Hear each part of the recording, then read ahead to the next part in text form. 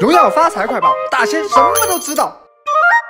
兄弟们看到了没有？百分之三十七点五的承伤，百分之二十七点八的输出，简直是小乔看了流泪，黄忠看了也沉默。究竟是什么让白起抗压输出双走高？这就要说说我们本期为大家带来的新玩法——不死战神流召唤之技能啊！携带治疗，铭文携带常规的肉铭文，十宿命，十虚空，十调和。装备为抵抗之蝎、反甲、不死鸟之眼、永夜守护、爆裂之甲、纯净苍穹。没错，就是纯净苍穹。对于白起这类有高坦度的英雄来说啊，当你购买五件装备后啊，已经拥有了一万一千六百二十四点。血量和一千零七十五点物抗。如果你再购买一个步枪灯罩，它也仅仅只是增加了百分之五的物理减伤和一千二百点生命值，属性增幅较小。即使你购买了一件霸者之装，它也仅仅只是增加了两千点血量。两千点血量对于后期发育成型的法射来说啊，根本算不了什么。相比之下，在一波团战中啊，纯净苍穹的三秒百分之三十减伤效果可以帮助白起减免更多伤害。例如我这一波，我方追逐落单张良，张良临死啊反扑按住我方剑，敌方高渐离啊剑士开大。入场，我配合镜啊，先手击杀张良，敌方凯蒂啊从草丛窜出，对我瞬间上演了血条消失术。我情急之下开启苍穹，再配合治疗，血量啊骤然拔高。看看这绿色的五百、七百、四千、一千九等等，这波团战我最少回了上万点血，想必敌方的内心是崩溃的。这咋越打越起劲，越打血越多？兄弟们，这就是不死战神流的白起恐怖之处。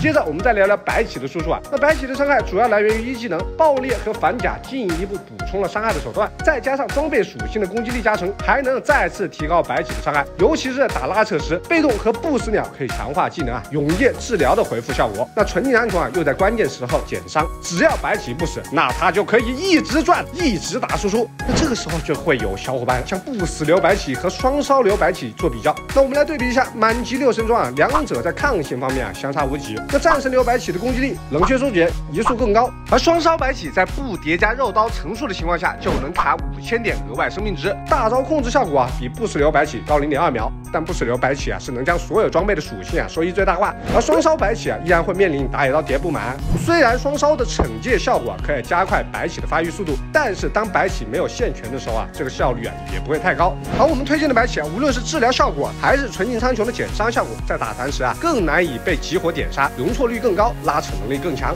最主要的是双烧猪这么强势的原因，是因为啊八戒的被动损失生命值会以残血的。形态暂存，那期间对敌人造成的伤害会以百分比等值残血转换为真实血量。也就是说啊，这个灼烧效果啊是可以帮八戒回血的。但是白起的回血啊，只能依靠技能和装备，灼烧伤害仅仅只是增加白起在抗压时的输出。所以综合考虑啊，我个人认为啊，咱们这种峡谷巅峰上更适合大众玩家。兄弟们，看我这一波连胜数据，各种金银牌啊，心动了吗？心动不如赶紧行动，赶紧拿去上分吧。最后再教大家一个白起的花式拉人技巧，在钩子。收回的瞬间，释放大招可以改变拉人的方向，往哪个方向跳就会往哪个方向拉人。我们可以用这个方法将敌人拉回塔下。兄弟们，学会了吗？